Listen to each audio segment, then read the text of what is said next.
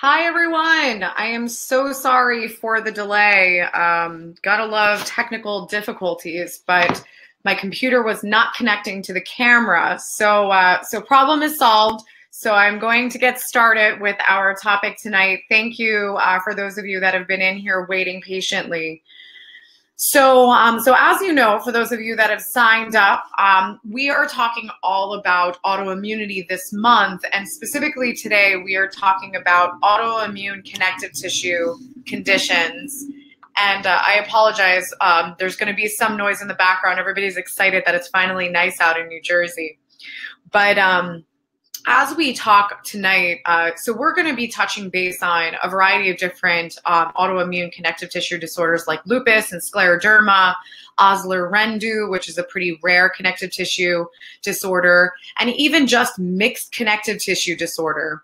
And my goal is is for you to understand more about the origin of why these different conditions manifest, but also to understand some of the limitations with the testing and even the research as to why you might not really be getting a solution that is outside of just an immunosuppressant. And I'm going to talk to you also about some really, really interesting case studies of uh, patients that I've worked with that have had many different root causes when it comes to their autoimmune conditions. And I promise you, it is things that you have never heard before. So, so as we get started, um, I want to kind of start by just kind of telling you a little bit about myself and uh, a little bit about like who I am and what I do. So overall, um, I'm an integrative medicine physician, and one of my most favorite things to do is to help people understand that you don't know what you don't know when it comes to your health because there is so many limitations with the testing that is offered nowadays. And in addition to that, there are many false beliefs, but also uh, misunderstandings to why we potentially get autoimmune conditions or why our health can decline with time. We kind of think that it's really just part of the aging process, but we don't always realize that there can be some very specific foundational reasons why we are not feeling our best. And that's because a lot of the testing that we do on an annual basis, like blood work, doesn't always reveal the bigger picture. And in addition to that, doctors don't always have enough time to spend with you to piece the puzzle together. So, for myself and my practice at Integrative Wellness Group, we have really challenged uh, a lot of what we've been taught about how medicine should be done. And I feel like personally for me, I just found that not a lot of things always made sense. It didn't make sense to me that you just develop an autoimmune condition out of nowhere, that all of a sudden everybody has some type of food intolerance or food allergy. And all of a sudden, people are starting to have, you know, vaccine reactions and autism. There are so many things that when I was growing up, were not the normal, were not the common um, occurrence. And now we have taken a turn for the worst with our health. And now we're having young children with autoimmune conditions. We're having a massive epidemic of things like lupus and scleroderma. And it's just becoming the normal. And we're not necessarily challenging that and saying, well, why? Why is this happening? And we have always questioned why. Why does this happen? And why are we being told that there's no cure and there is no reason that all of a sudden one day the immune system just turns on itself? That was something that didn't necessarily feel right to me, which is what kept me on my journey of learning more and more and more. And for those of you listening, you know, you're probably attracted to this topic because either yourself or someone else around you that, you know, is a friend or a loved one is dealing with some type of autoimmune condition like lupus or scleroderma, etc. But the thing you have to understand that you're going to learn tonight is that this is not necessarily about the diagnosis. This is about understanding the bigger picture beyond it. Because when I work with someone, it's never that you just have lupus or you just have an autoimmune condition. There are usually other pieces of the puzzle that are all intertwined that are either the cause or a side effect or both. so when I, you know, people ask me what I do, I work with a lot of different types of conditions. And because it's not about the condition, it's not about the pathology, it's about what is the foundational reason for why your immune system is not functioning properly? What is the foundational reason why you're so fatigued and you can't sleep and you know you can't think straight? There is always going to be a foundational reason. And I think that this is somewhat refreshing to people, and you'll see this more as we continue the conversation. But when I work with my patients, you know, they're so overwhelmed when they come through my doors because at that point, they have so many symptoms. They're like, I'm in pain, I'm achy, I'm tired, but I can't sleep at night and I can't think clearly. And like, I can't even articulate uh, words or or have a co- intellectual conversation and they just feel so broken. And when we actually do their testing and i'm able to piece the puzzle together they're refreshed to know that there's not a million things wrong with them. There's really just one or two foundational reasons as to why they feel the way they do. And there's usually somewhat of a simple way of of helping them heal and helping them tackle those things. So I'm not going to sit here and say the healing process is sunshine and rainbows, but when you know the root cause, really anything is possible from a healing perspective. So for myself, you know, when I got into this field, I did not get into this field because I was super sick and nobody could help me. I wasn't necessarily someone who was eventually diagnosed with lupus and, you know, found myself deteriorating and then eventually found functional integrative medicine that got me back to health. I actually kind of felt guilty about my story for a very long time because I found that many people in my industry, that was their story. They were super sick and functional, a functional or integrative doctor helped them. For me, what I found uh, was my story was actually almost more relatable to the common public because I was dealing with things that became my normal. I was fatigued. I had brain fog. I was struggling in school, telling myself that I wasn't smart enough for this field. I was, you know, struggling with um, abnormal uh, periods and I was fainting around periods. There were all of these random things that came and went that were just my normal. And I found that to be very fascinating because when I did my testing and it revealed that I really wasn't as healthy as I thought, I realized that I just settled for feeling crappy. And this is the case for so many people because we're being told, oh, this is what happens as you get older. Or you're having a conversation with your friends and family now, and everybody's tired, and everyone sleeps like crap, and everybody gets bloated after they eat. And these things are becoming more and more normal because everybody is dealing with them to some capacity. But in reality, none of them are normal. And they're just warning signs of our bodies saying, hey, there's something wrong or there is something developing. And we need to pay better attention to these things because for me, when I started to heal my own body, that was eye opening because I then was able to sit back and be like, holy crap, I really didn't feel well, but I had no idea because I didn't know any different. And that was something that I really found was valuable to what I bring to my patients because it's not about just settling for feeling a little bit better you can actually wake up and be excited to to wake up and you could feel good and sustain energy and not rely on coffee and get a good night's sleep and be happy. You can be all of those things. A lot of us don't even think that that's possible. So I know it's around 7:30. There are tons of things going on in our house right now, but like I said as we got started, the things I'm going to talk to you about tonight are not your run of the mill information. I'm not going to sit here and tell you everything starts in your gut. I'm not going to sit here and tell you to go on an elimination diet. I'm not going to tell you any of those things. I am going to tell you things that you have never heard before in relation to autoimmune conditions. I'm going to help you understand why you potentially have lupus that you haven't been able to get better from. I can help you understand why maybe the immunosuppressants that you're taking are also not working. So stick with me for at least the next 20 minutes so that you can really really get some clarity as to why you feel the way you do, but also know what can be some action steps for you to get on a path to healing. So first and foremost, I always start my webinars with this is that I want you to know that if you have not been able to get better, it is not your fault. If the medications that you've taken have not helped you, it is not your fault. If you tried to tried to change your diet and it didn't help you, it's not your fault. If you just tried to research what can I do in conjunction with my medications and you became paralyzed, it's not your fault.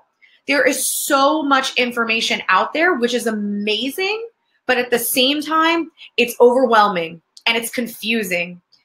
And the most important thing that you need to know is that what you need is completely different than what somebody else needs. I do not care if you and your best friend both have been diagnosed with lupus. Your needs are going to be completely different for what diet you should eat, what supplements you should take, what medication you potentially need, because the root of why that developed is going to be different. So it's not your fault if you have kind of thrown your hands up and said, you know what, I don't even know where to begin, so I'm going to just quit because you need be- better testing and you need to know your body and what your body needs to be successful at actually getting better. So, a foundational principle for understanding everything we're going to talk about tonight is some of you are here because you're like, oh, well, she must be an expert in lupus, scleroderma, mixed connective tissue disorder, etc. I personally feel that always seeking out the specialist in our condition is potentially what gets us to hit roadblocks with our health. And I say this because we are assuming that all of our systems are are operating separately. We are assuming that our gut is not connected to our brain and our brain is not connected to our heart and our immune system is not connected to our lymph nodes, etc. We are assuming that we are a bunch of separate systems that are working independently. And that brings me to the second point of basic physiology. So 90 to 95% of your serotonin, which is your feel good hormone, it is the hormone that makes you happy, it allows you to experience joy. This is made in your gut. So if you have irritable bowel syndrome or celiac disease or some other type of gut condition, or maybe you just have bloating and you are also dealing with depression, you're probably seeing a psychiatrist or a psychologist that's giving you something to boost your serotonin levels or support your mood. And then you're probably also walking with a ga- working with a gastroenterologist that might be giving you some medication to really um, subdue some of your symptoms. But at the end of the day, that is 100% connected. And it's because most of that serotonin, that feel good hormone, is being made in your gut. So if we try to work with these two things separately, we're not going to necessarily achieve what we're hoping for. Or you're going to need a higher dose of medication, or you're going to need to add another antidepressant, or eventually an anti-anxiety, etc. Because we're not getting to the root. And that's the beauty of functional integrative medicine is being able to decipher what is the root. And I'm not going to sit here and say that everybody that has depression has a gut issue. Maybe you truly do have a brain imbalance. But if you do have some type of gut issue and you're dealing with depression, simply by healing your gut, you could potentially boost your serotonin and feel happy again. So, one of the big questions that I always get is why doesn't everybody do what you do? Why doesn't everybody use the types of technologies that you use at IWG? Why doesn't everybody look for the root cause? And one of the biggest things that you have to understand about traditional medical training is that most of the training is on the premise of using chemistry based testing. So, what I mean by that is your most common test that you get on an annual basis is what? It's blood work. So blood work is a chemistry based test.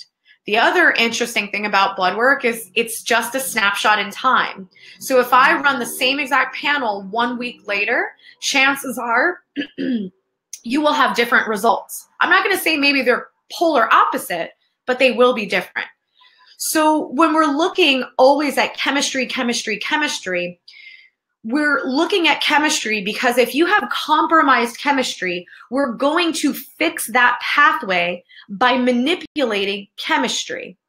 AKA, that is the foundation of using drugs, medication, pharmacology.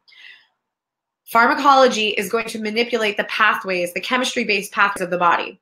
So we all know that, you know, medication is a for profit industry. So most of the research and most of the testing that we do is looking for broken chemistry that we can then fix with chemistry, AKA drugs. So when we look beyond that, we actually can dig deeper, figure out if there's other layers, and we can actually decipher what is the root cause. And once you understand that information, you can also know that it's not necessarily about this one pill cure or this one size fits all treatment because every single person's body is extremely different. Again, you could have the same diagnosis, but the way that one person needs to be treated versus the other is going to be completely different. I am never um, I'm never ceased to be amazed because of the way that we test our patients. We actually test their DNA for what types of supplements, herbs, remedies, detox therapies, neurological therapies, what is best for their body. And no two people are alike ever. So when you can get that specific on treatment, that is a game changer because you can see people with the most, you know, significant diagnosis like lupus get better in a few months or a few weeks even. And that's really why i get up every day is to be able to see these changes that people never thought were possible. Okay so let's get into this whole autoimmune talk about connective tissue. So number one the big question is is why would the immune system start to attack connective tissue? Better yet why would it attack certain tissue? So for those of you that are dealing with, say, mixed connective tissue or scleroderma or lupus, you hear about lupus and you read about it and it's scary because they say, well, lupus can affect your joints, but it could eventually progress into affecting your organs. So how does it choose? Why? Why does it maybe start in the joints and then go to the organs? Or why does it affect the organs and then go to the joints? Why does it sometimes affect people's cardiovascular system? Why does it sometimes affect people's hands? That's always, this is what I'm talking about when I've always questioned because it doesn't, it doesn't line up to just say, oh, well, some people it's just going to attack their left hand, and then other people it's going to attack their gut. Because connective tissue is your ligaments, it's your tendons, it's your muscles, it's your fascia, it's your organs, like it's your blood vessels. Everything is made of connective tissue. So the point of me asking you this is to get you thinking outside of the box because what is the primary role of our immune system? The primary role of our immune system is going to be to attack foreign invaders. So, in attacking foreign invaders, that's going to be things like bacteria, fungus, mold, parasites, toxins, all different types of chemicals, mold. I said mold. Um, but overall, your immune system is designed to protect you from anything that is going to be damaging. So, if you have some type of foreign invader that gets into your body and then gets into a specific tissue, which we're going to elaborate further on, wouldn't it make sense that if the immune system is doing its job, it's coming to the scene of wherever that foreign invader is, and it's trying to attack that foreign invader? But if that foreign invader or that bacteria or that fungus is burrowed within a tissue, then unfortunately that tissue is in the line of fire. It is going to start to have breakdown because of the inflammatory process. Because that's all that an immune system attack is, is an inflammatory cascade. So if you think about it, when your immune system is attacking things and you are inflamed, that's when all those symptoms kick up. You feel feverish, you feel swollen, you feel tired, you feel like you have a headache, you you have aches, pains, etc. So then you get diagnosed with your autoimmune condition and they give you an immunosuppressant. So your immunosuppressant shuts down your immune system, AK shuts down the um, uh, inflammatory response, and you feel better. But the thing about it is that you just shut down your immune system from attacking the primary thing that is damaging your tissue. So this is why these immune autoimmune conditions progress is because you are suppressing the immune system and suppressing the inflammatory response and you're controlling your symptoms, but you are actually perpetuating the root cause, which is a foreign invader that your testing or your doctor has not found yet. So when we talk about why certain tissues, it's because different organisms have an affinity for different tissues. So we're going to dive into that a little bit more. So I don't want to jump too far ahead because I have a tendency to do that. So I'm going to pop in the chat box and just see if anybody. Okay, so no questions yet. Okay, so I want to tell you a story specifically in relation to what we're talking about here. So we have, um, I have a patient. She came in with fatigue, depression, tons of body aches. Um, and then after we did her testing, it turned out that she had lupus presenting in her left hand. So, number one, one thing I want you to understand is that she was working um, with a, her primary care physician and she was uh, she had her second child and she was talking all about having a lot of body aches and she was having a lot of joint pain and she was really fatigued. So her physician ran um, actually ran lupus markers ran the ana marker which uh, is related to lupus and other types of autoimmune conditions and they all came up negative so I think it was about four weeks later, she was getting worse. So she came to see me and she was still experiencing a lot of these body aches. I ran blood work and then I ran a variety of other tests that we do in house. And her ANA marker was positive four weeks later. So, can I sit here and say that four weeks prior she didn't have lupus? No, she probably did, but the immune system is super resilient. So things can ebb and flow. So when you go to the doctor and you get a positive ANA and then they retest it a couple of weeks later and then it's negative, it's like, oh, I'm in the clear. I don't actually have lupus. That's not the right way to think about that. The right way to think about it is your immune system is still trying. It's still strong enough that it is trying to get back to a place of homeostasis. But if you don't do anything about your current health situation, that will progress to the point that you have full blown lupus all the time. So it's not about just like, oh, it's negative. I'm in the clear. It's your body saying, hey, I'm really trying here, but you need to help me out. So her marker was positive. But the thing about it is that you look at blood work and then the end of the story is, is, oh, you have lupus. And, and that's, if you don't dig any deeper, it would just be, that's the answer. And we need to put you on medication. And that's the end of the story. So because of the way that we look at the body and a lot of the testing that we do, I was able to see where the lupus was manifesting. And it was specifically in her left hand. So here's the kicker why her left hand?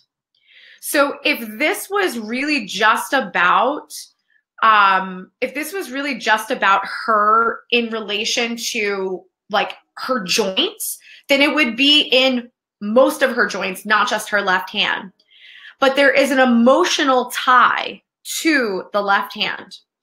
So, left side of the body emotionally is tied to a female figure. In addition to that, when you're dealing with autoimmune manifestations in different parts of the body, this is going to be tied to what are you holding on to? That is the specific emotional tie to the hand.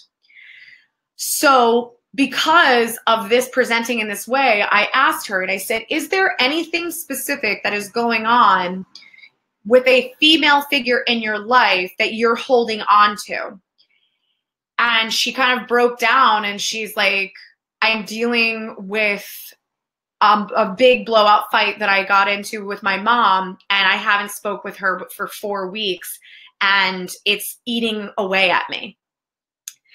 And I thought that this was just so significant because this is a patient who potentially would have just been deemed a lupus a lupus case and she would have just been put on this immunosuppressant and been told, you know, this is just the reality of your condition and this is what you need to do to maintain it.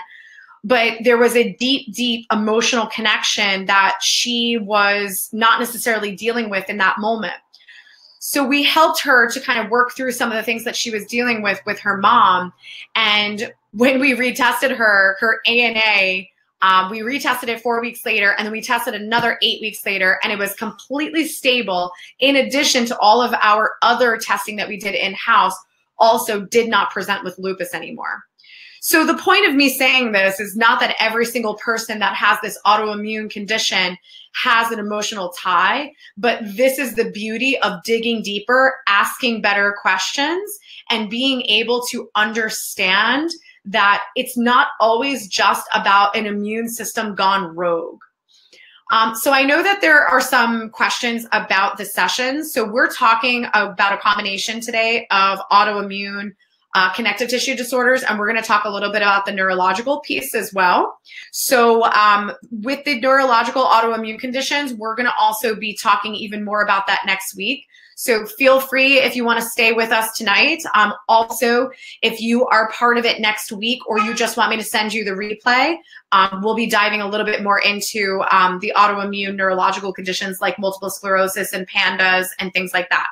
So definitely feel free to ask questions as we go. Um, I'm definitely happy to touch on it more if you have specific questions.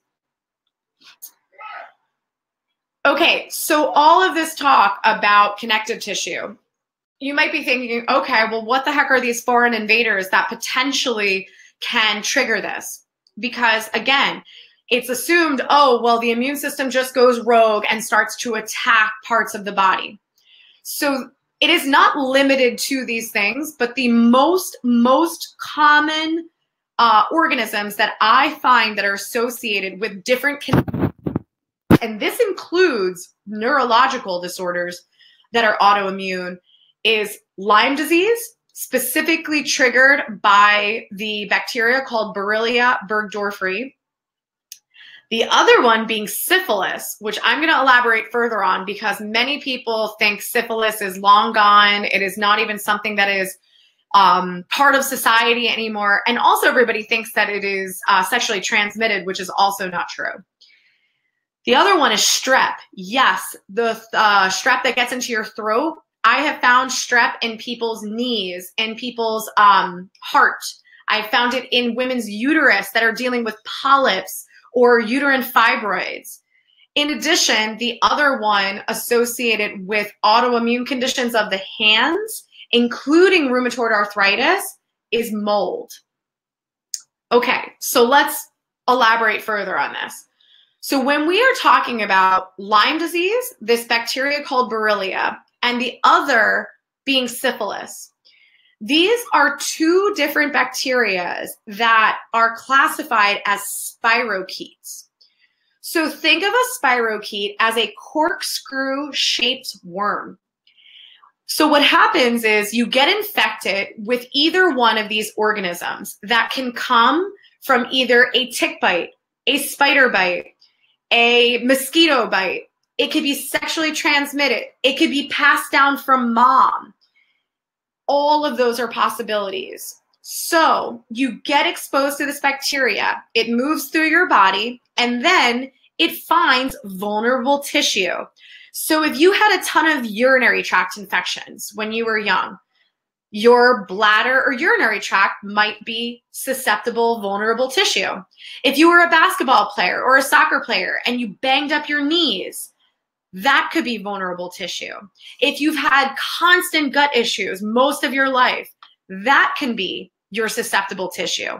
So it's really a matter of what tissue has been inflamed or damaged. That's where this organism, it's going to find that tissue, it's going to corkscrew itself into that tissue, and that's going to be its new home. So, this helps you to understand why, when you're doing traditional blood work, you're potentially not finding these things. And it's because it's in your connective tissue, it is not in your blood. These things are burrowed, they're hiding.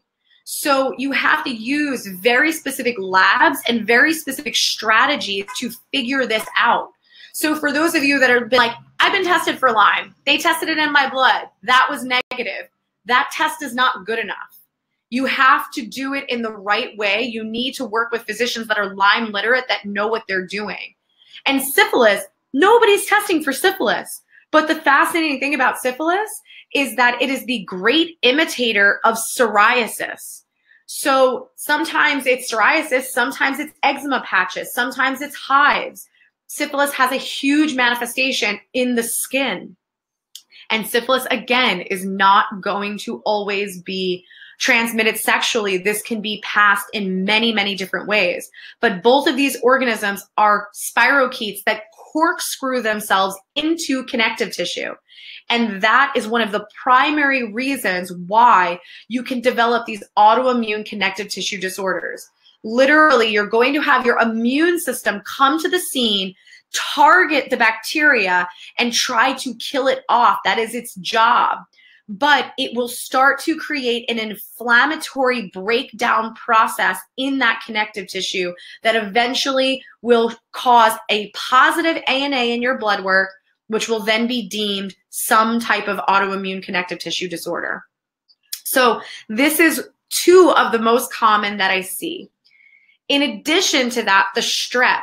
So for those of you asking about the autoimmune um, neurological disorders, so one of the most fascinating things about strep it is now being acknowledged, but it is being acknowledged mainly in pediatric cases, in cases like PANDAS.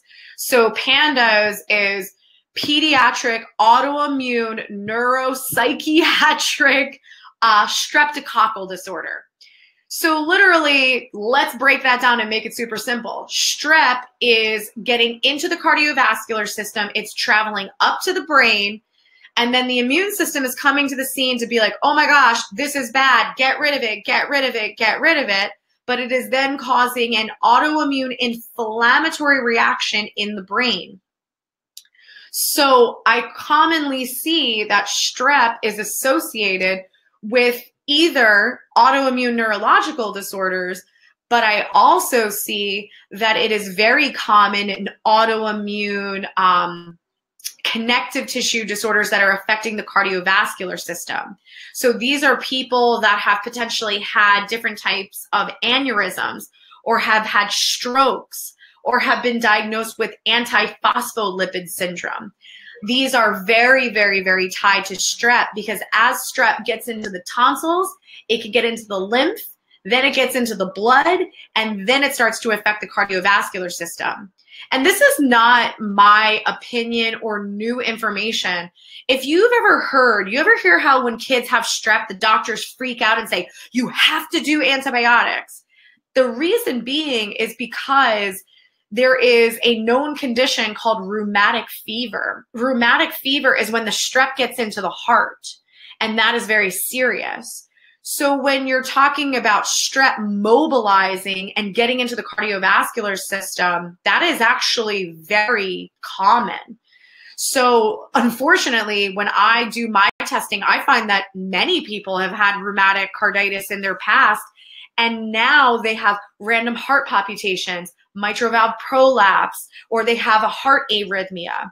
And they get told this and they're like oh well we don't know why you just have that. And it's actually because strep has gotten into their pericardium.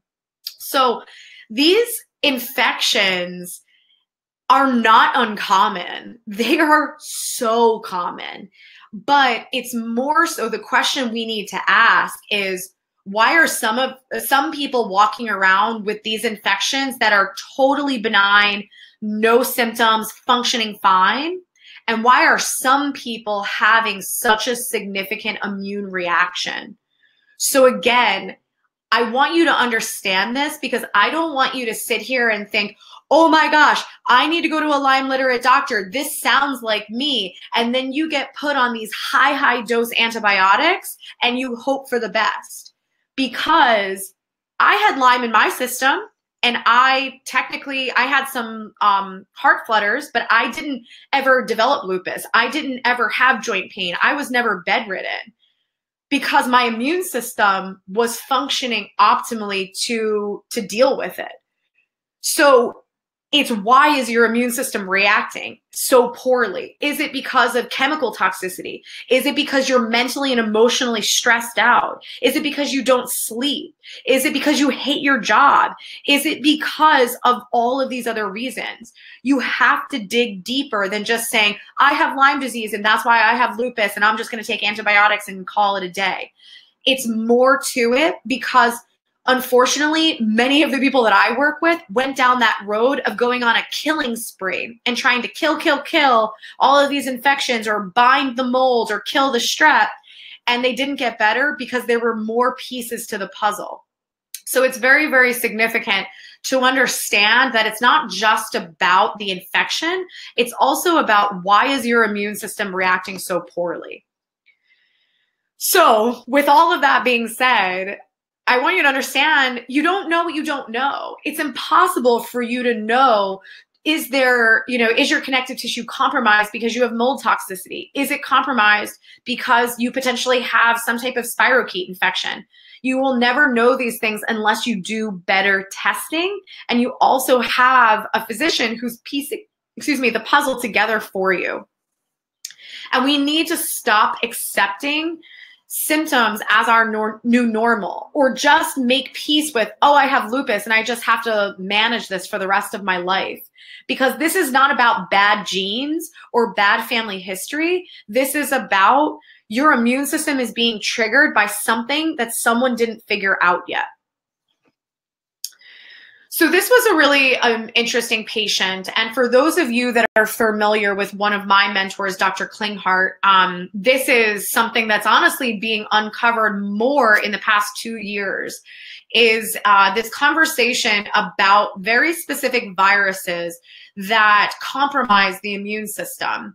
So for those of you that are here that have been down the road of functional medicine, integrative medicine, and you've been trying that route for your autoimmune condition and you're still not getting better. There is a piece of the puzzle that has not necessarily been acknowledged um, because this is new research and new information.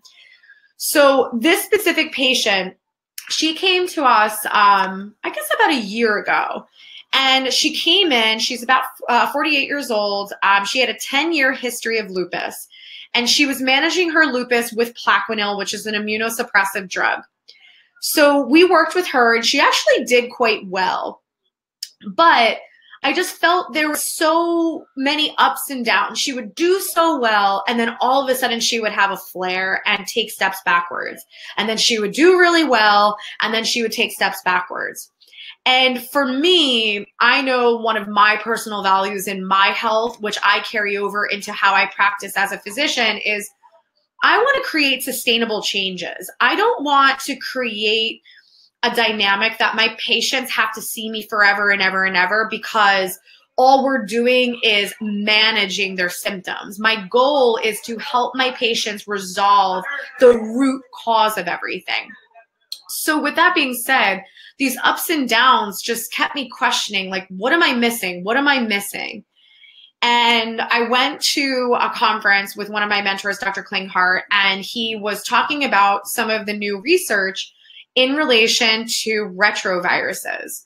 So, what's interesting about these retroviruses is that one of the known retroviruses is HIV, um, which we all know as being the most immunosuppressive virus that exists that usually is, you know, fatal to many people. And I'm not saying that this woman had HIV, but she had something called a retrovirus, which is in the same family. And the thing to understand about this, like this was the most fascinating part to me, is that retroviruses have been part of all of our DNA for thousands of years. But most of the time, they have been silenced. So when they become active because of chemical, environmental, emotional stress, then they can become very compromising to the immune system and be a trigger for autoimmune conditions. So my question was is well if these viruses are so harmful to our immune system why why are they part of our DNA so what what came to light is that when females specifically get pregnant the you would question okay if a female is pregnant and she is essentially growing another human that is foreign to her body why wouldn't her immune system attack the baby so, one of the reasons is because one of these retroviruses becomes activated during pregnancy to shut down the part of your immune system that would attack the baby. Like, how freaking crazy is that? Like, that is so crazy to me. That is so freaking fascinating. I am like never, I'm, I'm always so fascinated by the body the more and more that I learn and how amazing and complex that it is. So the point of me telling you this is that these retroviruses serve a purpose at certain times in our life. But because of all of the stress that our bodies are under with all of the Wi Fi, the Bluetooth, the working long hours, burning the candle at both ends, comparison game on social media, living up to everybody's expectations, working in New York City and commuting and, and doing 15, 16 hour days, like these things are activating these retroviruses. And these retroviruses are compromising our immune system and they are not allowing us to bounce back from just a flu or it's not allowing us to heal even with our efforts from these autoimmune conditions. So if you're the person who's tried everything and you've done so much and you've hit a million roadblocks, you might be dealing with a retrovirus. And there are very simple ways that you can test this to uncover is this part of the puzzle. So one of the biggest myths around autoimmune conditions and really just many avenues of of health is that your testing is always accurate. Uh, for those of you that have been with me the the full 40 minutes, um, a positive ANA. I have run blood work one week apart. I've seen a positive ANA and then I've seen a negative ANA. ANA is the primary marker that dictates um, if you are potentially developing a autoimmune connective tissue disorder. The other thing that's really fascinating about this is if your ANA is positive and your doctor did the reflex test, then certain things that pop up will indicate is this scleroderma? Is this Sjogren's? Is this lupus? But what I find fascinating is I will run the blood work and technically the markers will be for lupus, but then as I'm talking to the patient, they're like, but I'm so stiff. I'm so stiff. I can't move. I can't bend my fingers. I'm in so much pain. It's so hard to get out of bed. And I use my, my in-house testing and it reveals that they actually have scleroderma. So you can't always rely just on these blood work markers. You also have to consider what are the symptoms of the patient because your symptoms matter and they do not deserve to be ignored. They 100% are significant because there is limitations with any test that you use. That's why through our onboarding process, I use five different types of technology with blood work and I put that all together with your history to understand the bigger picture. I'm not sitting there relying on one test because that is what made me run into roadblocks with my patients in the past. And I have worked very hard to try to evolve my my diagnostic process so that I can understand the root from day one and help put you on the right path as soon as possible. And the other thing, too, about this infectious disease testing is that if you have been with me the whole time, we talked about how these connective tissue disorders can be tied to strep. They can be tied to Lyme disease. They can be tied to syphilis, even. So the infectious disease testing is only being done by infectious disease physicians. Nobody's going to an infectious disease doctor unless you have reoccurring fevers that nobody can figure out, or if you have reoccurring diarrhea that's not going away. So, a lot of times you're not being tested properly for these infectious diseases. And then, in addition, if your doctor is, ooh, let's rule out Lyme disease, your traditional run of the mill Lyme panel through LabCorp and Quest is a crap test. It's not a good test. So it's a really a matter of knowing that not all of this testing is always going to give you the whole picture. And this is kind of the example that I gave earlier is I wanted to give you guys a visual because I know this is not always the easiest to process, but looking for Lyme disease. When you're um, when physicians are looking for Lyme and if they're looking for it through a spinal tap or they're even looking at looking for it through a biopsy, they're always looking for the spirochetes. The spirochetes are I don't know if that actually worked, but the spirochetes are these squiggly things that I circled here. So the thing about the squigglies is that they don't always look like that. So most of the time when you're looking at a biopsy or looking at a spinal tap, the spirochetes, they revert back into what you see on the left circled in the red, which is called a bleb or a round body cyst. So when you're talking about Lyme, um, as a bacteria, it is a tricky, tricky, tricky bacteria. It is very hard to diagnose properly because it changes form depending on where it is in the body. It also hides and burrows itself. So again, it's just reiterating that not always is your testing going to be 100% accurate. So I've kind of talked about this with the case study that I mentioned about the woman with her left hand. So when we're talking about these autoimmune conditions, I have found that emotional ties are so freaking significant. I am so sorry for the noise.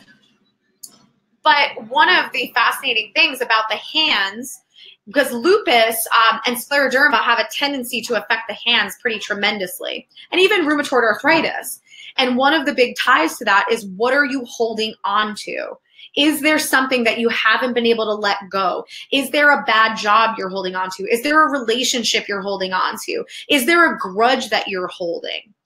The gut. Um, this was something really significant that came up not too long ago for me. And it was specifically, um, I was getting weird sensations in my thumb, which is tied to your large intestine. And I also had a rash on my thumb and my pointer finger. And it was only in that area so when it comes to the thumb and the pointer finger, those are meridians, and those meridians are connected. It's the large intestine and the lung. So the lung is about grief, and the large intestine is about elimination. So um, one of the uh, Chinese medicine doctors that I was working with is he said, you know, when you're dealing with a large intestine issue, a lot of times is like, what are you not willing to eliminate out of your life? And it was a very interesting, um, uh, or it was very significant to me at that time because I was going through a pretty significant transition personally. And um, there were things that I was really scared of letting go of or, or eliminating out of my life. There was a lot of fear around that. And there was also a little bit of grief around moving on from that. So it's just so fascinating that these things pop up at different times, but they can truly affect us from a physiological standpoint. Um, knees and ankles, I know that this is another really, really common area that gets affected when we're dealing with these autoimmune conditions. And knees and ankles has a lot of significance to, you know, what are you fearing um, moving forward from? Or why are you scared of taking that next step? Or what are you scared of walking away from?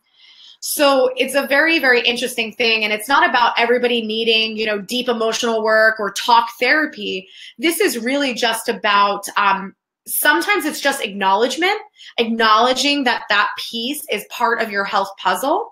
Some of it is using methods like acupuncture or using um, one of the things that we use that is uh, is a Chinese medicine meridian based technology. It's called a bioscan, and some of it is just been balancing out something called your chakras can help you lift the burden of some of these things that you're holding. So it's not, again, necessarily about therapy. It's just about acknowledgement and using different um, methods that are congruent for your body to release these things.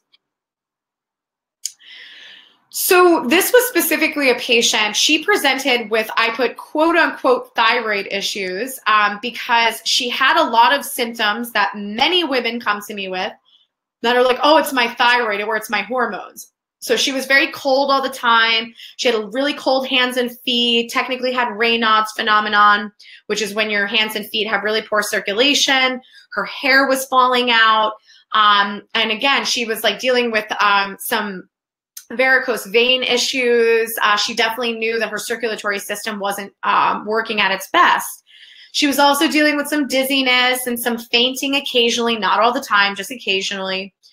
So, with all of this, it's very easy for us females to peg this as hormonal or thyroid related. But in reality, being cold, having varicose veins, being dizzy, fainting, and even hair falling out is all very circulatory. Because if your scalp is not getting proper blood supply, you're going to then have issues with your hair falling out. You might also have headaches or migraines or what you call sinus pressure, which is because your blood flow in and out of your head is not working optimally. So what I find so fascinating is that many women that come to me with their quote unquote hormonal issues, sometimes this ends up being tied back to an autoimmune connective tissue disorder like lupus, but it's affecting their connective tissue of their cardiovascular system. So this can cause all of these symptoms like the cold, um, you know, cold hands and feet, hair falling out, dizziness, etc. But more importantly, this creates a susceptibility for you to be at risk for a stroke or for an aneurysm. And I'm just going to turn this light on. So, the really interesting thing about this is that I personally, again, you don't know what you don't know. I was a ticking time bomb. And I ended up having a genetic condition called Takayasu's, um, which is actually has to do with the cardiovascular system. And what it does is it makes your connective tissue more susceptible in your aorta, which is the really big vessel that comes off your heart and goes down into your abdomen. Um, it makes it more susceptible to having um, to tearing and having an aneurysm. So it was just very fascinating because I was having random heart palpitations. I was having random circulatory issues, um, cold hands and feet, like really, really cold feet when I slept. I had to wear socks when I was sleeping, even in the summer. So there were all of these things that were, again, my normal. They were no big deal to me. You know, it was just that's the way my body is.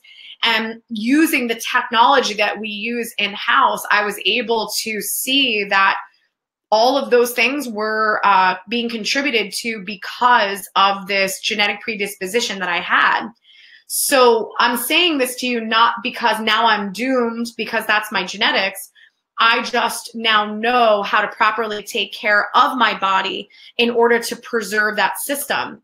And one of the ways that I do that is making sure that I do cardiovascular activity like workouts, but I also make sure that I keep my lymphatic system very healthy because your lymph in your cardiovascular system work hand in hand.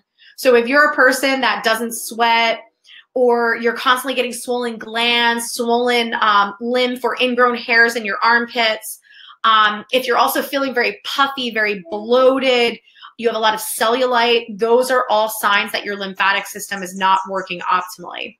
So it's very, very significant to um, to be able to take these symptoms as not being your normal, but the fact that they potentially have a root cause and these are things that you can work on to obviously prevent anything more serious in the future. So the biggest myth of them all is that autoimmunity is irreversible and it has no known cause. So I think at this point you realize that there is going to be a cause. But more importantly is that when you understand the root, anything is possible. I have seen autoimmune markers stabilize. I have seen ANAs become negative and stay negative. And these are things that people never thought were possible. And again, it's not always just about the autoimmune condition or even the infections that are potentially correlated with it. It's about why is your immune system so reactive? Why is it not able to to deal with the different um, organisms that your body is is fighting off? Like, why is it struggling so much? And this usually comes back to your body's inability to filter the bad stuff out because uh, this is always something that I explain to my patients and like, holy crap, that makes a lot of sense. But we have our bodies are designed to filter the bad stuff out. Our bodies are designed to deal with toxins, molds, infections, viruses, all of it. But the major systems that get rid of the bad stuff is tonsils, liver, spleen, gallbladder. How many people have fatty liver? How many people get have gut issues or have parts of their colon removed? How many people are missing an appendix? These are significant things. Like these are all of your immune system filtration organs. Excuse me. So instead of us acknowledging, well, why did this become compromised? Or why is this is this organ so overloaded? We just remove them and say, oh, problem is solved. And it's not any of our fault. This is just what we're being told is like, you don't need an appendix. It's a useless organ. That's what I always find so fascinating when we say things are useless. I'm like, well, why would it be built into our body if it's completely useless and serves no purpose? So your appendix is like the primary filter of getting the bad stuff out of your gut. So if your appendix became an appendicitis and ruptured, that's why they say it's deadly if it ruptures because it pours bacteria into your bloodstream and you could die from that. So your appendix very much serves a purpose. You can survive without it. But the bigger understanding is that if your appendix got to the point of an appendicitis, that means your gut is dealing with a boatload of issues. So the point is, is that if you haven't gathered this yet, is that very rarely do things manifest like the textbook. Very rarely is it, you just have lupus and that's the end of the story. There is always going to be more to the story to understand why that developed in your body. Why is your immune system being so triggered? And most importantly, is if you don't match the textbook, how is your treatment going to match the textbook? It is impossible to think that you're going to get your life back by just shutting down your immune system and calling it a day. There is so much more to be evaluated that can help you truly get to the root cause. So, some of you listening might be completely brand new to this whole idea of functional and integrative medicine, and maybe you're here just to learn a little bit more. And then there's some of you that have been down the road of functional medicine, and maybe you got some results and hit a plateau, maybe you got no results. The thing I want you to understand about this is that there is the conventional way of looking at the body, which is really based on looking at the chemistry through the blood work and then utilizing tools such as drugs and surgery. And then there's functional medicine that brings in a lot more elaborate testing, which really helps you dig deeper to get to the root cause, but a lot of times functional medicine is really relying on two major tools in the toolbox diet and supplements. I used to practice that way, and I don't practice that way anymore because I hit plateaus with it and I found that there were limitations. In addition to that, I didn't want to be on an elimination diet for the rest of my life. And it was very hard for me to advocate that for my patients because I didn't feel that that was really the way that it should be. I, I knew that there was more. I just didn't know it early on in practice. So I kept digging, digging, digging, and evolving. And that brought me to integrative medicine. One of my mentors, Dr. Klinghardt, he said to me, Don't call yourself integrative if all you do is diet and supplements.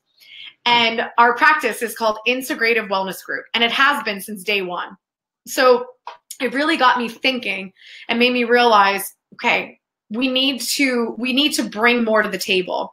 And that is why we have detoxification therapies. We have lymphatic drainage therapies. We have neurological therapies.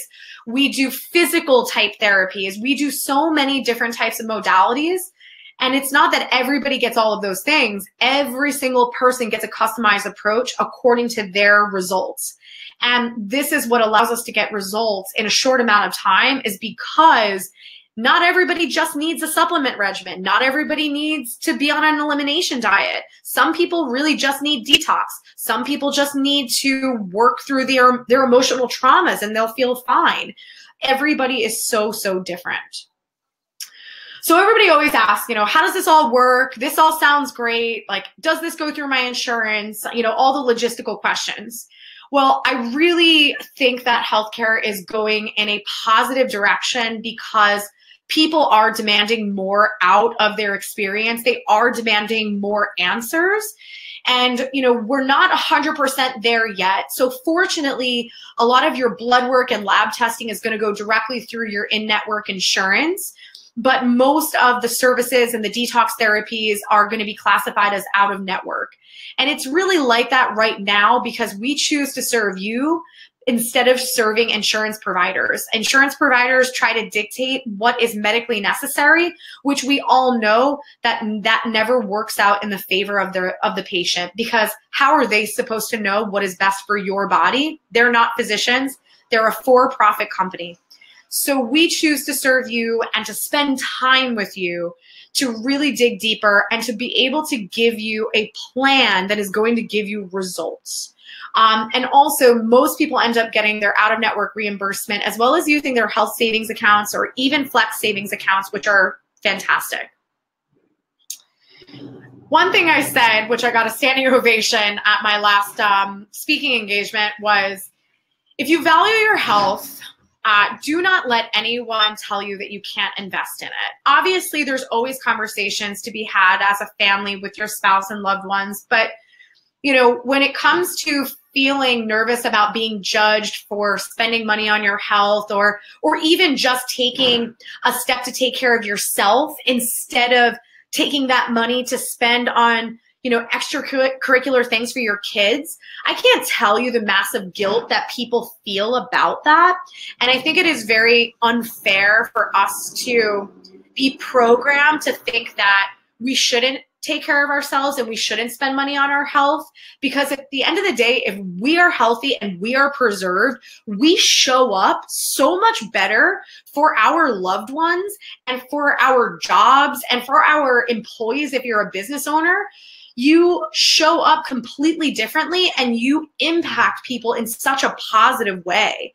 So don't let anybody tell you that you don't deserve that.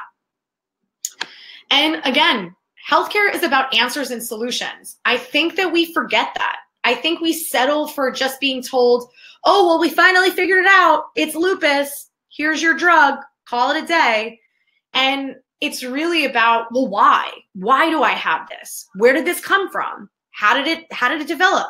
Like what can I do? Like of, with my lifestyle, what can I do beyond just taking a pill? And we deserve those answers and we deserve to know what we can do to help ourselves. So you may be thinking, well, how the heck do they get all this crazy information? Um, so our onboarding process is very unique because we specifically do a variety of different tests and compile all of the information together. So we do meridian based testing, which allows us to know is there things that are weighing you down emotionally? Are you absorbing tons of bad energy from the people around you, from your job, from your boss? So that is amazing information by looking at that piece of the puzzle. We also look at chemical allergies or chemical sensitivities, environmental allergies, food allergies. Then we look down to the DNA level using the bioresonance. What is going on that's compromising your DNA, that's compromising your cells? Do you have toxins? Do you have infections? Like what's hiding in your body that your conventional tests haven't found? We test for heavy metals, mineral deficiencies, vitamin deficiencies, and my absolute favorite, the autonomic response testing. So this was actually created by Dr. Klinghardt. So this has taken all of the guessing out of how we do things. We do not guess, we test. So when it comes to your recommendations that we give to you, Nothing is cookie cutter. Nothing is the lupus protocol, the scleroderma protocol, the, the irritable bowel protocol. Every single thing is tested against your body. So your supplements are tested, your the herbs, the homeopathics, the detox, neurological therapies, physical therapies, all of these things are tested and your body tells us this is good for me to start the healing process. So it's pretty amazing when you're able to walk in with a plan that you know is congruent for what that person's body needs. And that's really something that we pride ourselves on because not many people are do well, I don't know if anybody's doing it, but I'm sure maybe somewhere in the world. so we do this unique onboarding process because I was really tired of giving people all of these different tests blood work, stool samples, nasal swabs, saliva tests, hormone tests. And they spend all this money, two, three, four thousand dollars on all these fancy tests. And then still sometimes I wasn't really able to connect the dots. So we've learned, we've grown, we've evolved, we've trained under Russian quantum physicists, we've trained with integrative doctors, we've trained with German physicists, we've trained with biological dentists, we have trained with so many different people, different countries, different professions to collaborate all of these diagnostics under our roof so that we can get you the most accurate answers. Number one. Number two is that we can actually save you money on your testing so you can spend money on what's important, which is actually getting better. And also, too, like at the end of the day, for you, if you've been searching for years upon years to figure out what can I do? How can I work with this autoimmune condition? What can I do to resolve it? What can I eat? What can I not eat? Depending on you and your goals, what you can achieve with this information is priceless. And, you know, there are many people that are new to this and they're like, yeah, this sounds great, but like, whatever. I don't really have that many symptoms. And then there's a lot of people that are like, oh my gosh, where have you been all my life? So I think it's just so invaluable when you're able to truly, truly know what's going on in your body. So everybody always wants to know, how does it work? What does it cost? So um, our onboarding process for all of the tests that I described is 1425. Those of you, again, new to this world might be thinking that is a lot of money, which I totally get. But again, when you go to other types of facilities, a lot of times you're going to be spending maybe three, four, five hundred dollars for your consultation with the doctor. And then after that, you will have to complete a variety of different tests that usually will rack up to about anywhere between, you know, a thousand up to five thousand dollars. So it's important to know the bigger picture behind it because the tests that we are doing are very, very customized, but they also fall under this onboarding fee. Um, but it is very important for us to always make sure that we know that the people that work with us are a good fit for us as well as we are a good fit for them. So this is a direct link if you want to set up time with one of our client services team members to talk to them a little bit more about how it all works and a little bit more about your condition and how we work with um, work with that condition because we always want to make sure that we are going to meet your needs and help you achieve your health goals. Also, if you are long distance, I always should say this earlier, um, you can do all of your testing from a distance. What's amazing about some of the testing that we do is it's DNA based. You have DNA in your hair. So simply by sending us a hair sample, you actually have the ability to do a lot of your testing from a distance. Um, for those of you that are like, that sounds great, but what about care? I really like what you guys are doing from a, a care perspective. We do offer something called immersion weeks. And those immersion weeks are amazing um, because people come and do a morning and afternoon session over the course of six days and get fully immersed into our program um, and walk away really radically changing their health. So I want to check to see if there's any questions. I know I checked earlier. It doesn't seem like there were many, um, but definitely feel free to pop them in there as we continue. So I really, you know, want you guys to know that this is one of my biggest passions is getting on here and helping you to understand more about these autoimmune conditions and help you to get clarity on things that maybe you've never heard before. And this is truly more of an educational experience, but when you're able to get your testing and know what's going on in your body, that's when this becomes a breakthrough experience because it just allows everything to line up and and for you to sit back and be like holy crap that makes so much sense. And i finally feel empowered and like i have some level of control over my own health because i know that being diagnosed with these autoimmune conditions saying there's no cure and you know we don't know why. It's it's very very disempowering. But i promise you there is always always a root cause.